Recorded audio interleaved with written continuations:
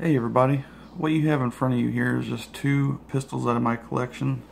Uh, the right one here is my everyday carry Charter Arms 5-shot revolver 38 special. And then the left one is my 1911 kit that I built for myself uh, from just a frame. And so the reason why you have these two guns in front of you is I just wanted to show you um, that guns with iron sights, um, the lower end of the spectrum, um, cheaper guns, inexpensive guns, the iron sights are going to suck.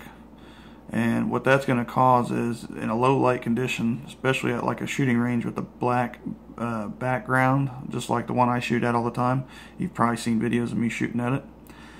The, the sights on these guns are not very clear, and the contrast with the back uh, black background it makes it hard to see the target. So what I did was, um, if you've seen the video with my 1911, the accuracy at 7 yards, the reason why I tightened up the groups is because of the sights. And you can see here, I got some white paint or uh, nail polish on the front sight there, and that helped me out distinguish the rear sight. And it makes it nice and clear for target acquisition and the same goes for this gun you can see it has no color or anything for the iron sights. The only thing you would see is the white on the front sight. So it makes it nice and clear to get on target. And uh, this paint really is just uh, it's white nail polish as you can see there. It's really nice and bright. But yeah it makes uh, getting on your target faster and it makes your gun more accurate because it it distinguishes between your rear and front sight. If your rear and front sight are the same color, it's going to be hard to um, find this this little notch in between these two, this buckhorn sight, since it's the same color. And with the white on there, you can distinguish that, which makes it really nice, makes it accurate.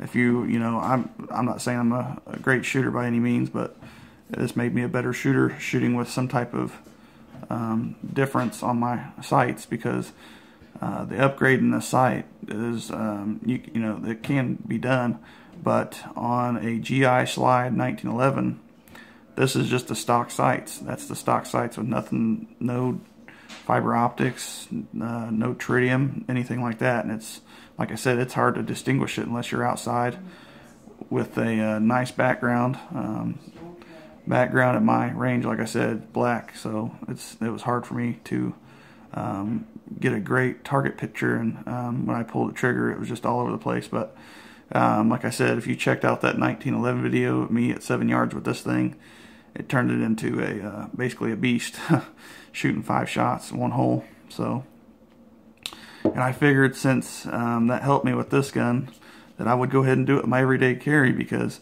um, this gun right here isn't, um, you know, it's not poor, poorly accurate, but with this paint on there, I, I believe I could probably do the same as with my 45. So, alrighty guys, well, um, that's the end of the video for, for today. Um, as always, I appreciate you watching our channel. We'll see you on the next one.